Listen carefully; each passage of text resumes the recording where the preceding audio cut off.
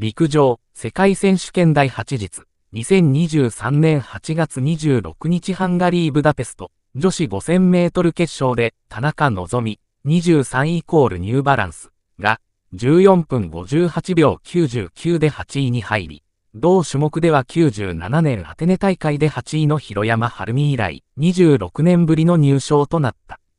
先頭集団を形成するアフリカ勢に対し、終始やや後方からついていった田中。ラスト1周での勝負となってもスピードが落ちず、ゴールが近づくにつれてペースが上がり、8位入賞に届いた。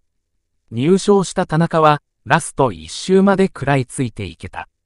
自分にワクワクしながら最後まで走り抜けられた、と自己分析。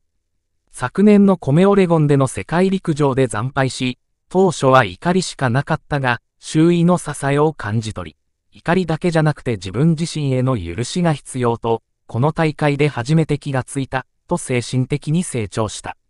私一人ではここまで来られなかった。感謝の気持ちでいっぱい、と涙ぐみながら、自ら快挙を称えた。21年東京五輪の1500メートルで8位に入賞しても、世界的には、たまたま東京で決勝に残れた選手の位置づけ、と立ち位置を確認。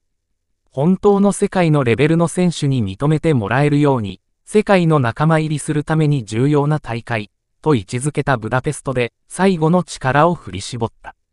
1500メートルの準決勝敗退後、父、竹俊コーチと話し合いの場を持ち、チーム解散まで考えた。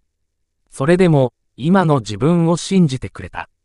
力の借り方が自分自身、ベタ、誰のことも傷つける言動をしてしまう。それでも一緒に苦しみ抜いてくださった方がいたことでスタートラインに立てた。5000メートル予選で従来の記録を約15秒も上回る14分37秒98のスーパー日本新をマーク。この種目で3大会連続となる決勝を最高の状態で迎え、世界トップに果敢に挑んだ。